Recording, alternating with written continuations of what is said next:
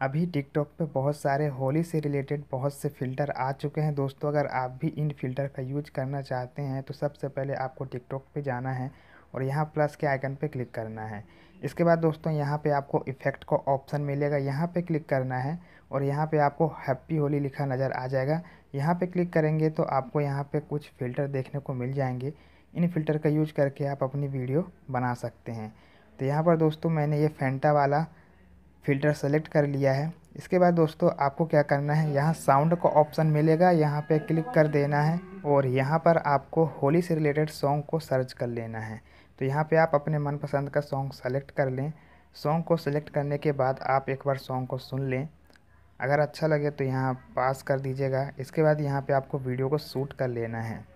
Video को shoot करने के बाद दोस्तों आप इसे जिस तरह से टिकटॉक पे वीडियो अपलोड करते हैं, वैसे ही अपलोड कर देना है।